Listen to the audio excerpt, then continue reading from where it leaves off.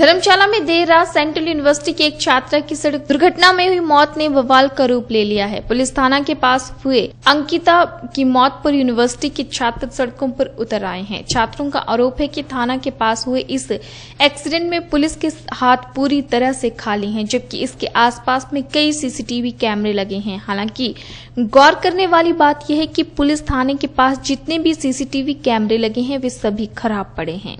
Police के लच्चर रवैये से आक्रोशित छात्रों ने थाने का घेराव किया और बाद में सड़क जाम कर दी। सेंट्रल यूनिवर्सिटी के छात्रों से बात करके खुद कांगड़ा जिला के एसपी संतोष पटियाल मौके पर पहुँचे। उन्होंने भरोसा दिलाया कि आरोपियों की गिरफ्तारी जल्द होगी। लेकिन छात्र पुलिस थाने के पास खराब पड़े सीसीटीवी कैमरे पर सवाल उठा रहे हैं। छात्रों का आरोप है कि पुलिस की तरफ़ से मौके की निशानदेही तक नहीं की गई है। उन्होंने थाने का सीसीटीवी कैमरा खराब होने के लिए संबंधित थाना के एसएचओ के खिलाफ भी मुकदमा दर्ज करवाने की मांग की है। स्टूडेंट ने पुलिस को फरार बाइक चालक को 24 घंटे के भीतर गिरफ़्तार करने का अल्टीमेटम दिया है। छात्रों ने पुलिस को चेताया है कि यदि आरोपी को निर्धारित समय में नहीं पकड़ा गया तो वे पुनः चक्का जाम करने को मजबूर होंगे तथा चक्का जाम पूरा दिन रहेगा।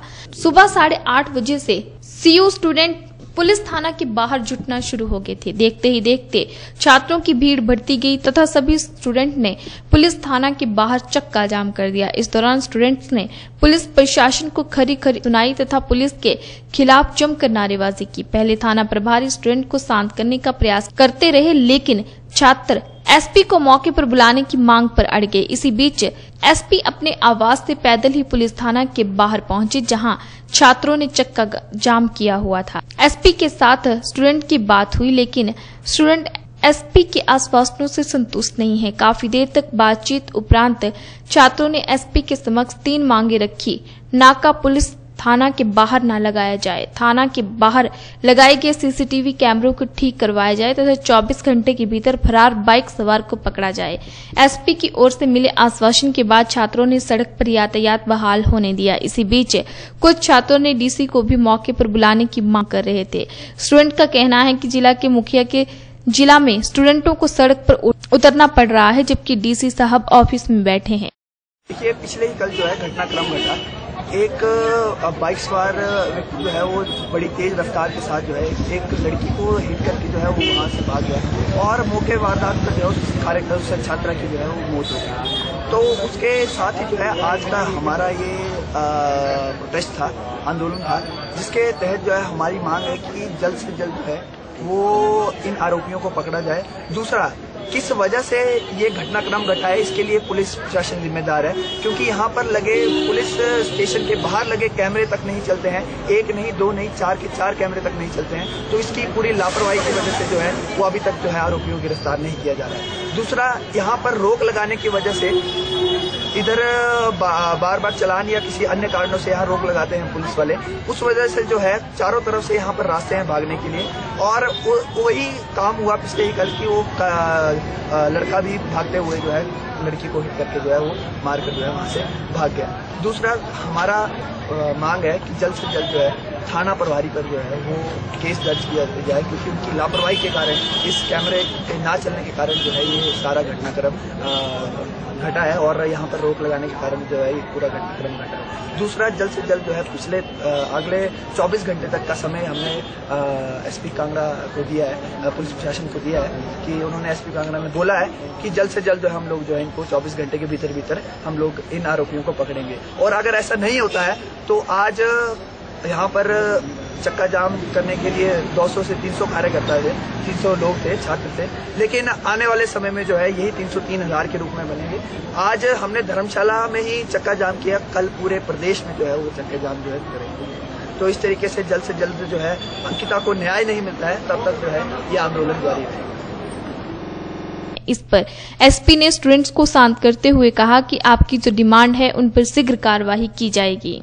गौरतलब है कि पुलिस थाना के सामने कोट रोड पर एक बाइक ने जो कि नीचे की तरफ़ से जा रही थी, एक लड़की को टक्कर मार दी। पुलिस कर्मी ने ही लड़की को घायल अवस्था में अस्पताल पहुँचाया, जिसकी मौत हो चुकी है। आरोपी को पकड़ने के लिए पुलिसकर्मी पीछा करते हुए गए थे। सीसीटीवी फुटेज चेक की जा रही है। सड़क किनारे जितने भी सीसीटीवी कैमरे होंगे, सभी की चेकिंग की जाएगी। एसपी संतोष पटेल ने कहा कि फ़िलहाल विभिन्न धाराओं के तहत मामला दर्ज कर लिया गया है। उन्होंने कहा कि ऐसे मामलों को सॉल्व करने में थोड़ा वक्त लगता है। पुलिस अपना काम सजगता से कर रही है।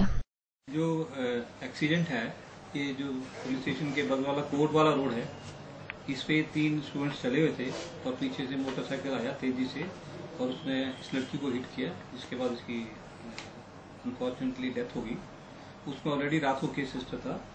और अप्रोप्रिएट सेक्शन में रात को केस रजिस्टर कर दिया था। अभी तो पोस्टमार्टम वगैरह चल रहा है। तो इसके साथ साथ जो है रात ही को जो था, बाकी जगह पे हमने जो, जहाँ जहाँ पे, उसी समय पुलिस को इन्फॉर्मेशन मिल गई थी। पुलिस ने ही उसको लड़की को जो है हॉस्पिटल पहुँचाया था। उसके साथ से जो बच्चे थे, उनके साथ लेके।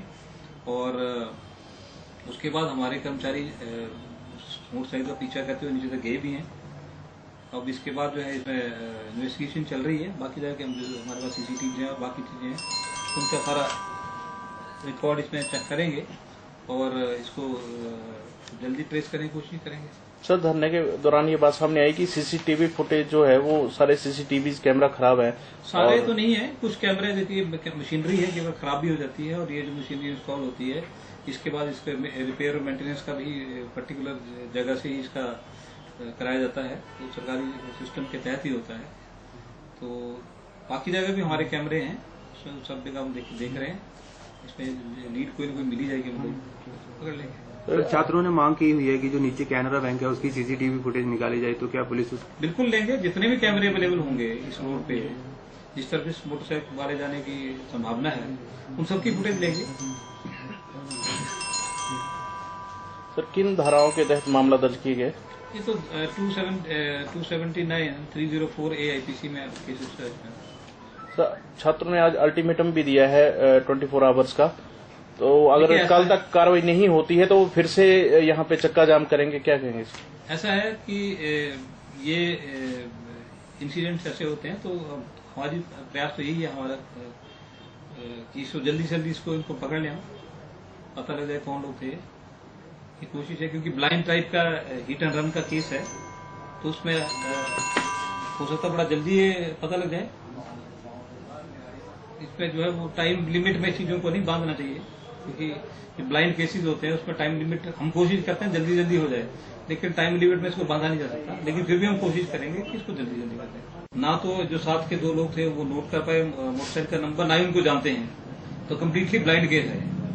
ब्लाइंड केसेस में इसको बिल्कुल ही बीस घंटे, चौबीस घंटे या दस घंटे, इस तरह का कई केवल संभव नहीं हो पाता। लेकिन हमारा प्रयास ये है कि लड़की की डेथ हुई है तो उसको जल्दी जल्दी हम उसको क्रैक करें।